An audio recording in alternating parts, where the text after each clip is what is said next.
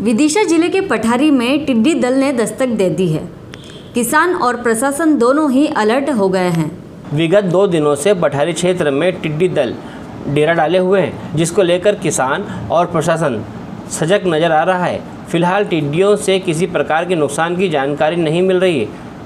गंज बासोदा, उदयपुर बाउली होते हुए पठारी क्षेत्र के जंगल से गुजरा है। वहीं पठारी क्षेत्र में टिड्डी दल मंडराता हुआ नज़र आया है। पठारी क्षेत्र में टिड्डी दल के दो तीन झुंड नज़र आए। विदिशा से आशीष सेले की रिपोर्ट। हेलो फ्रेंड्स आप देख रहे हैं हमारा channel S W twenty four news हमारे सारे वीडियो सबसे पहले देखने के लिए आप हमारे चैनल को सब्सक्राइब करें और पास में लगे बेल आइकन को दबाना बिल्कुल भी ना भूलें।